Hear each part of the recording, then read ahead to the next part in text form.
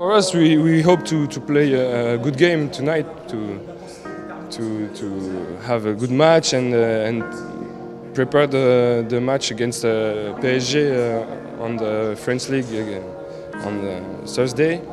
So we just hope to make a good game and uh, and uh, that's it. We have uh, make a really good game. Uh, uh, I think uh, Kilche uh, is in is not in confidence in uh, this uh, this period of the season. They lose maybe uh, too much in Champions League, so we we know we know that and we we take uh, our chance. Trudno skomentować taki mecz, bo, bo do tej pory we mnie olbrzymie emocje i, i tutaj, żeby nie szczelić jakiejś głupoty. Eee, dziwny ten mecz, czasami śmieszny ten mecz, bo tak sobie założyliśmy, wychodzimy na prowadzenie i od początku meczu e, jakby e, kontrolujemy ten mecz. Prowadzimy czterema bramkami i my tą przewagę potrafimy roztwonić w przeciągu krótkiej chwili i to jest chyba najbardziej denerwujące.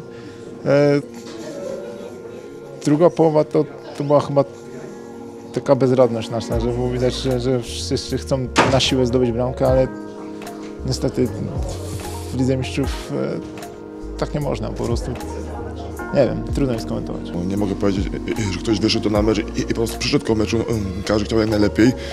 Ja też to, to rzuciłem kilka dogodnych sytuacji i też mogę mieć e, to jakieś pretensje e, do siebie.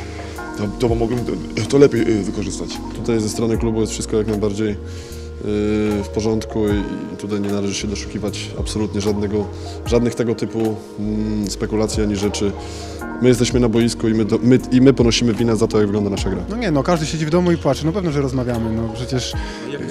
No, no staramy się wyciągać wnioski, staramy się rozmawiać. Bogdan też przed każdym treningiem y, poświęca parę dodatkowych minut razem z, z Tomkiem Szymbało na temat analizy danego przeciwnika. Na końcu tak skupiamy się na sobie, bo przecież wszystko zależy od nas, jak, jak my będziemy grę prowadzić. I dzisiaj do 40 minuty praktycznie można było powiedzieć, że było wszystko pod kontrolą, a potem, potem pojawia się jakaś inna drużyna, która tylko z nazwy przypomina Wiwe Targi Kielce.